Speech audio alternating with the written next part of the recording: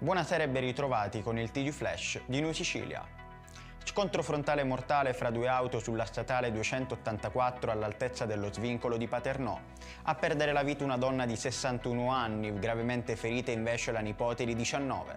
Non in pericolo di vita il conducente della BMW, finito in ospedale per ulteriori accertamenti. Emergono nuove notizie sull'omicidio del 22enne Rosolino Celesia ucciso a colpi di pistola nel centro di Palermo. Potrebbero essere due fratelli responsabili dell'assassino del ragazzo, in attesa dell'autopsia sul corpo esanime.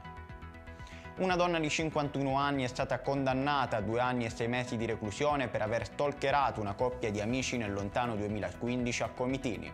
La pena inflitta è risultata addirittura superiore alla richiesta da parte del pubblico ministero. Un'emissione di cenere dal cratere Bocca Nuova che ha generato una modesta nube di colore grigio chiaro è stata osservata sull'Etna dall'INGV di Catania. L'emissione di cenere cominciata alle 15.13 si è esaurita dopo circa 7 minuti.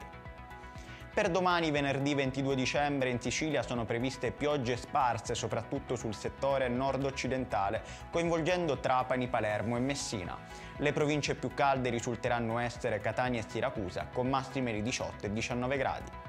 Ed è tutto per questa edizione, il prossimo appuntamento sarà domani alle 13.30.